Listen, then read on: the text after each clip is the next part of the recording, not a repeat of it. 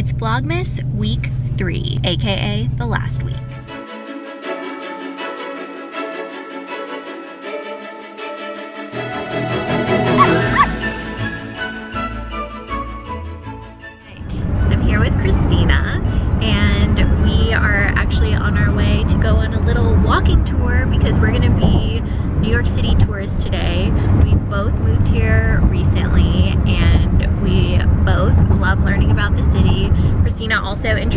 Me to the Bowery Boys podcast, which I'm now obsessed with. And so we're taking this Greenwich Village tour, which is run by Big Onion Walking Tours. They have so many different walking tours around the city. And Erica has done their tours before and she really liked them. So that's what we're doing today. What are you excited for, Cristina? Um, it'd be great if there was some food on this tour. I know. It's right at lunchtime, so we were both like stuffing like snacks in our face before leaving. Like, we need to survive for two hours. It's not an eating tour, but that would just be a nice bonus. I know. I know. They do have eating tours though for anybody that might be interested.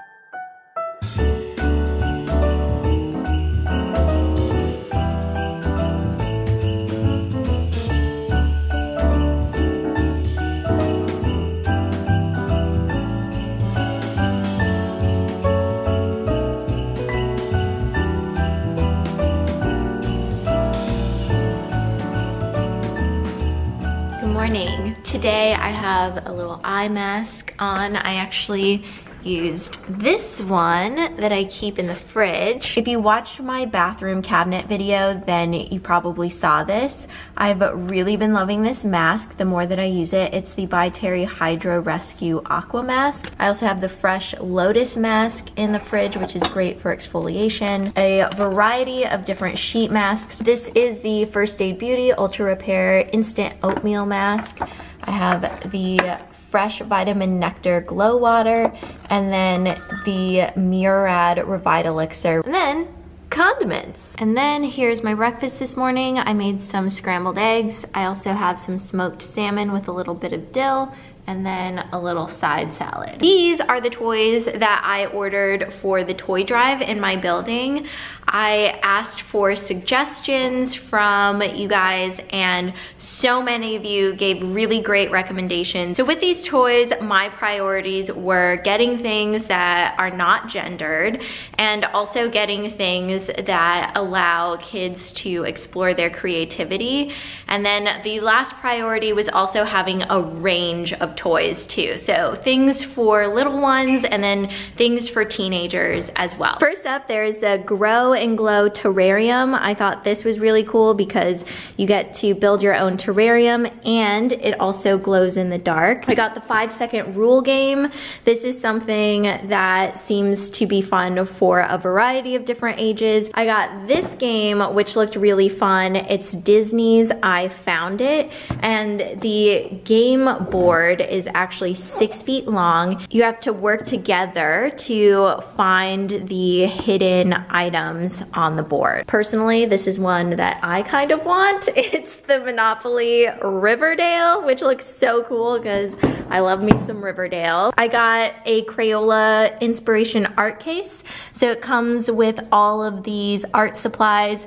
As a kid, I loved things like this and Crayola was always the gold standard for me. I also got a Hatchimal. Then another really exciting one. I would have loved this too as a kid. This Lego kit. So this is not a kit where you're building anything specific. It just comes with a bunch of different pieces and you can build whatever you want. Then this is a box of Play-Doh. I'll just show you inside. There's a ton of Play-Doh in there in every color you could imagine. This is a game that is definitely great for older kids. This is Machi Koro. I love the original, but this is the Bright Lights Big City version because I couldn't find the original version in stock. This is an amazing card game. It's so much fun. It's strategy based and it's all about building a city. I also got a magnetic drawing board. And then the last thing I got, I'm not gonna take it out of the box here. This is another art kit. It comes with a a sketching notebook, watercolor paper, brushes, paints, pencils, pastels. So that is everything and now we're just gonna take these down so they can get into that toy drive. I just finished getting ready to go out tonight. Honestly, I changed my outfit like five times before deciding on this outfit outfit I'm really struggling right now with winter wear in terms of what I feel comfortable in and what is going to keep me warm and what I also want to look like that day.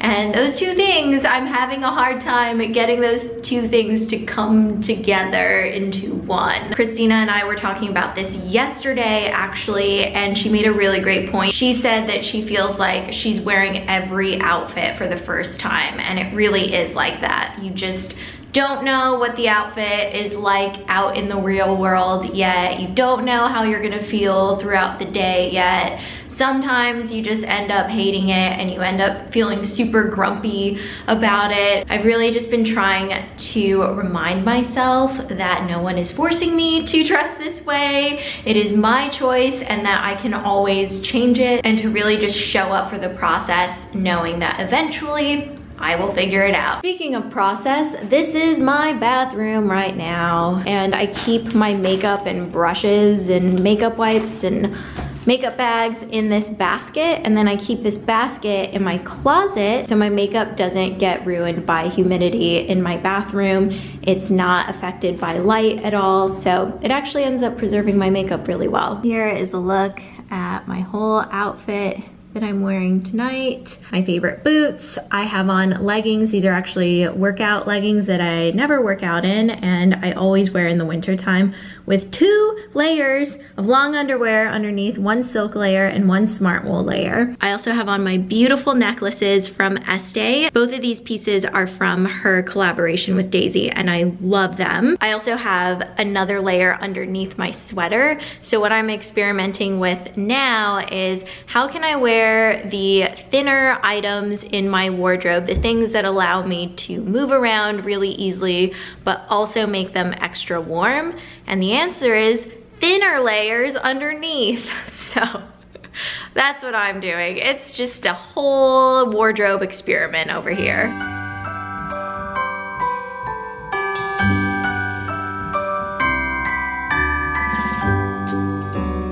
I just came inside from walking Tato, so I have my double pant situation on. Cristina just went home and now I have time to do laundry and let me tell you, I have a pile to do. Let's start with pile number one. We're gonna just start off small and work our way into the larger pile. So this I'm probably gonna have to divide up into two loads because it's so big. What are you up to? Are you gonna come down or are you gonna stay there? What a cutie.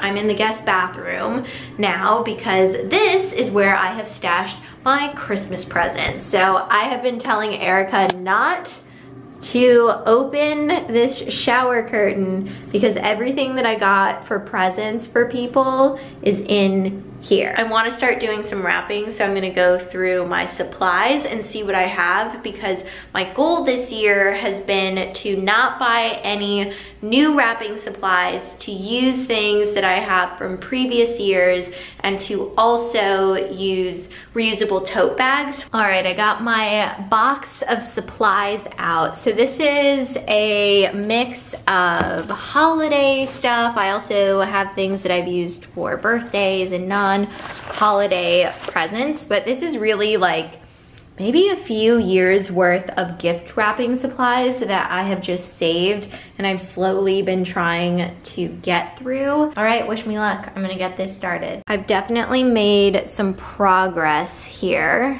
So I think I'm gonna wrap a couple more and call it a night. OMG, let me tell you, it has been a day, but I will tell you everything that happened tomorrow because right now Erica and I are getting ready to head uptown to Lincoln Center to see the Nutcracker. I'm really looking forward to this because my mom and I actually saw this ballet last year. It is so beautiful. It's the classic version and it's just really Christmassy and festive. After things that happened last night and the day that we have had today, I am so ready for this. This is all of the makeup that I'm wearing tonight. I'm really not wearing that much. I put on a little bit of the Tatcha Silk Canvas and then I used my Hourglass Eyebrow Pencil Glossier Boy Brow Chantecaille Under Eye Concealer, my RMS Living Luminizer, and then these two Urban Decay lipsticks, one in Gash, and then the other one in Bad Blood. I layered these two together and I really like them. I am really taking a moment to celebrate my outfit tonight. This is one of those moments where I have been able to combine comfort and warmth with how I wanna look that day and I'm feeling really good about it because that has not been the case for every other day this week. Walking up, ready to go. Oh, who is that? Who, who are you? Erica. Erica who? Erica America. Ah, uh, yeah, that's what I was looking for. Also, I'm, I think, I feel like I have lipstick all over my face because my hair was blowing in the wind and catching my lipstick, so now I just feel like I have red streaks all over my face, but... It looks good. Oh, thanks, it's the new look. It's the new look for this season. I love Lincoln Center.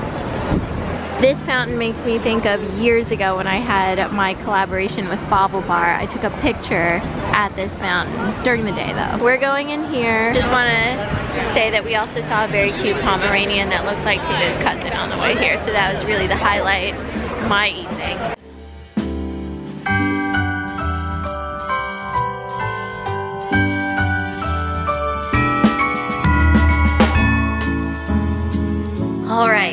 Now I can finally sit down and have a little chat with you about what has happened from Friday through this weekend. On Friday evening, after my wrapping paper session, I had a really, really uncomfortable confrontation with a man who, for context, was much bigger than me, probably like six three. It was a confrontation that was unexpected. I was totally in shock. I was afraid. I don't really wanna go into detail about what happened because I just, I don't feel comfortable. I've been sitting with this since it happened and there have been multiple things that have been bubbling up. One thing that has come up is recognizing that I'm in a place now where I have tools that I know how to use that allow me to stand up for myself and engage in you know, confrontations like this, whereas in the past, I wouldn't have been able to.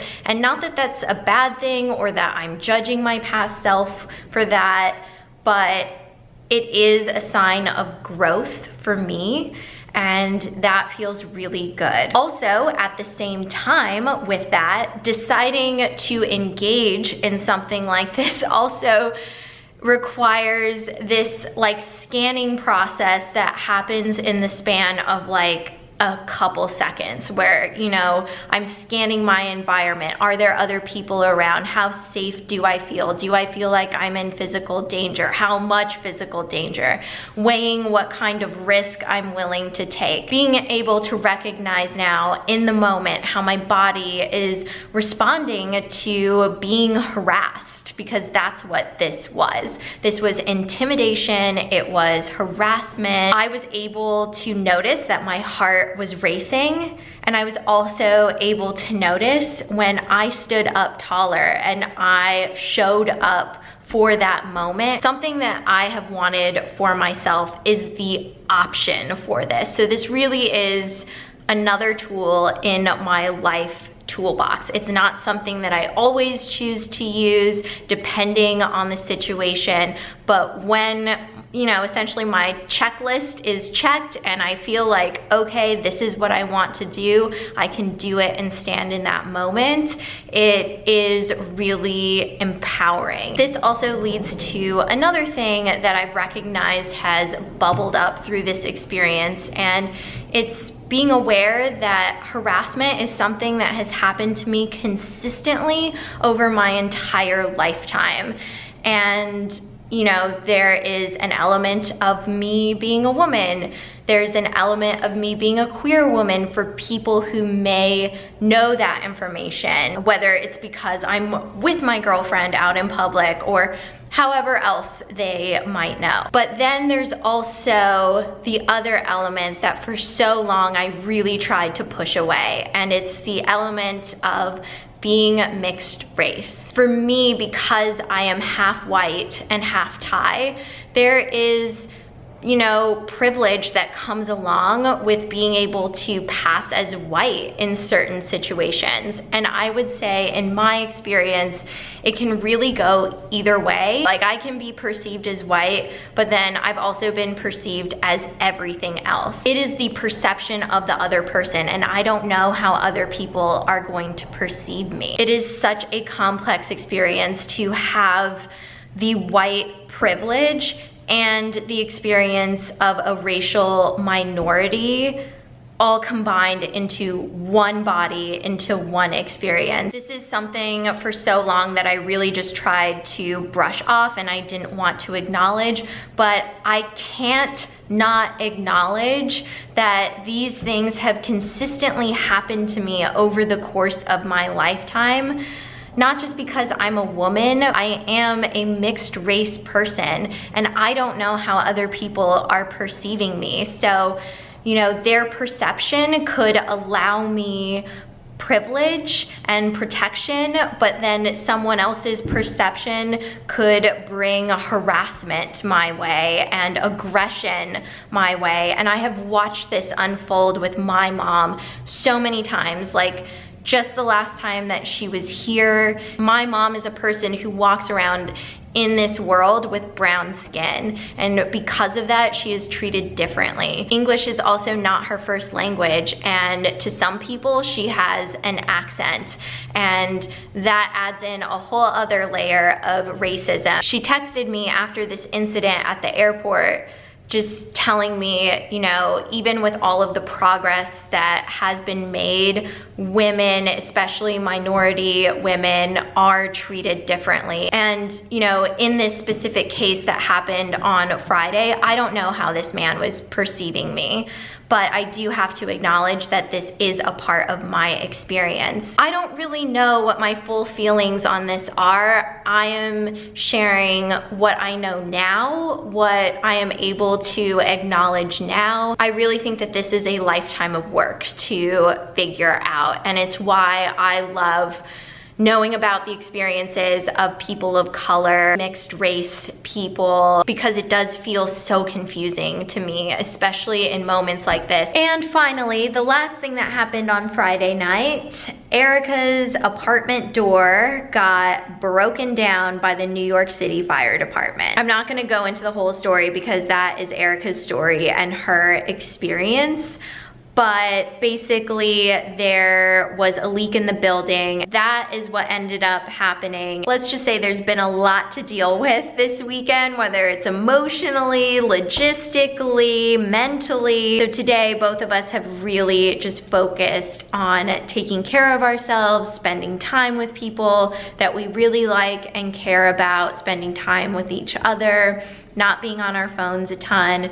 That's why I don't have any vlog footage from today because I really just needed today to recalibrate, to reflect, to be present, and to really just be generous with myself and let myself have the experiences that I needed to have today. Erica brought back a surprise, AKA this adorable little mini tree. Orthopedic slippers. Gotta get those in. I didn't think that I was gonna have a tree this year, but this is an exciting development. Plus my mom will be able to enjoy this, so this will be really great. Meanwhile, Oh. Tato chewed the leg off that thing. He loves that toy. It originally started off as I think a bunny. Now it kind of looks like a grasshopper since it ha doesn't have ears anymore. and now, oh, oh, it has two legs now. Oh shoot. This is a newly fallen leg along with this leg.